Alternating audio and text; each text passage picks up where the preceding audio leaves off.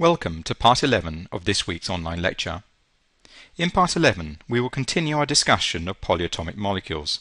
In particular, now that we know how to classify them, what will their rotational spectra look like? Let's start with linear polyatomic molecules. In fact, we have already solved the rotational problem for linear systems. The solution is the same as for the diatomics. It doesn't matter how many atoms you have in a line, the rotational spectrum will look the same. The characteristics of this type of molecule in terms of their moments of inertia are identical. One of the moments of inertia is zero and the other two are the same. This means that the rotational energy levels for a linear polyatomic system is going to be identical to the diatomic molecules. We solved the Schrödinger equation for a linear system we did this for diatomic, but the answer would have been the same for any linear system. And so, if we ignore centrifugal distortion, then the rotational term, energy, will be given by this familiar expression where I've written it down in terms of the rotational constant in wave numbers, and the rotational constant, as you can see, is inversely proportional to the moment of inertia. Now this moment of inertia here is associated with the B and C axes, which of course are the same. You can't distinguish between them. The difference, though, between, say, a triatomic linear molecule and a diatomic linear molecule is that the triatomic molecules are larger. This means that their moments of inertia are going to be greater. Remember, the moment of inertia is just the sum of the masses times the distance from the center of mass squared the more atoms you have in a line, the greater will be your moment of inertia. But what does this mean? If our moment of inertia is larger, it means that my rotational constant is going to be smaller.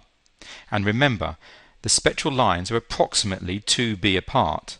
That means that the spectral lines for polyatomic systems are going to be much closer together than they were for the diatomic system and we can rationalize that in exactly the same way as we did for the diatomic systems when we were talking about the effect of centrifugal distortion. Because the spacing of the energy levels is related to the size of the molecule. This is exactly the same as when we discussed the particle in the box system. The larger the box, the closer the energy levels. In this system, the rotational wave function can spread over a much larger region, and so the energies are going to be smaller and the energy levels are going to be closer together. Let's have a look at a triatomic system. And this is rather an interesting one. This is OCS, or carbonyl sulfide. So this molecule has an oxygen atom, a carbon atom, and a sulfur atom all in a line. The sulfur atom is of course a lot heavier than the carbon and oxygen atoms, and so the centre of mass will lie somewhere along the CS bond. And we can define therefore the distance the carbon atom is away from the centre of mass as r sub c, the distance the oxygen atom is away from the centre of mass as r sub o, and the distance the sulfur atom is away from the centre of mass as r sub s we've got a condition that enables us to identify the centre of mass. If we take the product of the mass of the oxygen and the distance it is away from the centre of mass, and sum that to the mass of the carbon times the distance the carbon is away from the centre of mass, it will equal the mass of the sulfur times the distance it is away from the centre of mass, according to this equation here. Of course, in terms of saying something about the structure of the molecule, we are not really interested in what the distances are away from the centre of mass. We want to know what the bond lengths are. We want to know what the CS bond length is. But of course, we can define those in terms of these distances.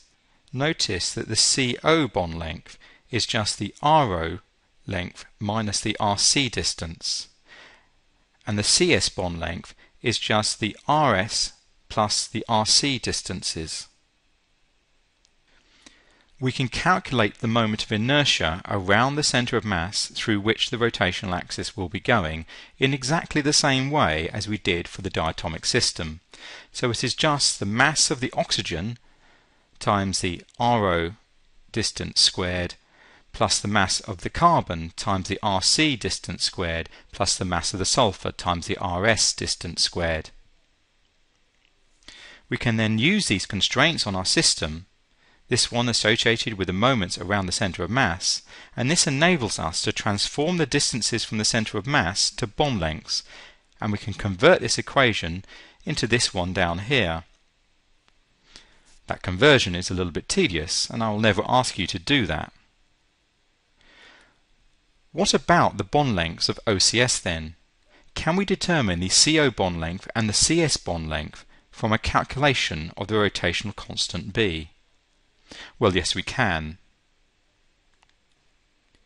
If we only had the value of B for this isotopic mixture of OCS, we couldn't do it.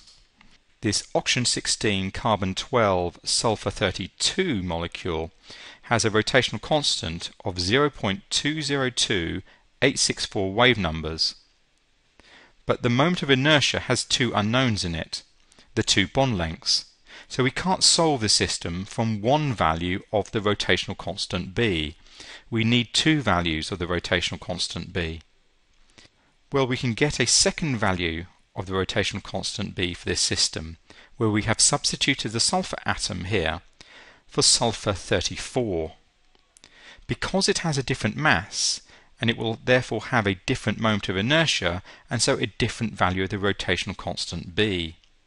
But the thing that we know is that the bond length, that is the structure of the molecule itself, won't be different.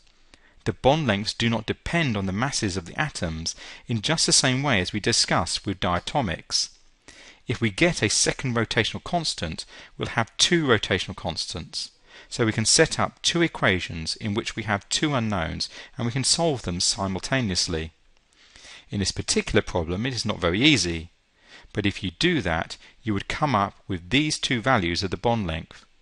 So the CO bond length is shorter, as you would imagine, from the CS bond length. Let's now have a look at our spherical top molecules. We of course have this condition that the moment of inertia around the A-axis is the same as the moment of inertia around the B-axis, which is the same as around the C-axis. The moment of inertia is independent of the choice of axes. The other thing that we know about a spherical top molecule is that there is no permanent dipole moment in a spherical top. Symmetry tells us this so it doesn't have a microwave spectrum.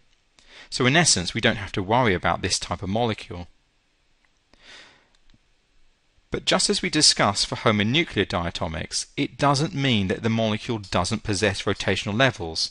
It has rotational levels, and indeed it can change its rotational energy through collisions, for instance. It cannot change its rotational levels through interaction with light. Or can it? Here is a spectrum for silicon tetrahydride SiH4. This is the rotational spectrum. These numbers, these intensities, are incredibly small, but this is unambiguously a rotational spectrum for a symmetric top molecule. One of the things you want to notice about this spectrum is the size of the J value. The spectral line with maximum intensity is for the transition from J equals 15 to j equals 16. And as we go to lower values of j, the intensities are dropping off.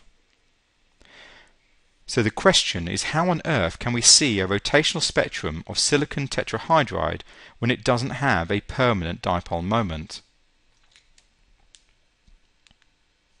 How was this possible? Well, we can appreciate it in terms of symmetry again. We can understand what is going on. If we increase the rotational energy of the system as we go to higher and higher rotational energy levels, the J becomes larger and larger, the molecule is rotating faster and faster. Centrifugal distortion is going to modify the shape of this molecule. If we rotate around the C3 axis, we can imagine that the off-axis hydrogen atoms will rise ever so slightly towards the horizontal plane through the silicon atom. This will be a tiny effect.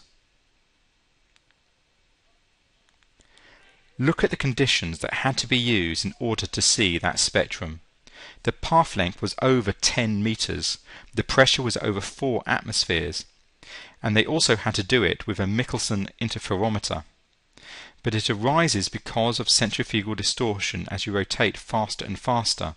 The atoms start to rise, so you can see a weak microwave spectrum. It is possible for tetrahedral molecules. You wouldn't, however, have seen it for an octahedral molecule. If you rotate around the C4 axis faster and faster, it still won't generate a dipole moment, but it will for a tetrahedral molecule like methane or sulfur hexafluoride. This is the end of part 11 of this week's online lecture. Please continue on to part 12.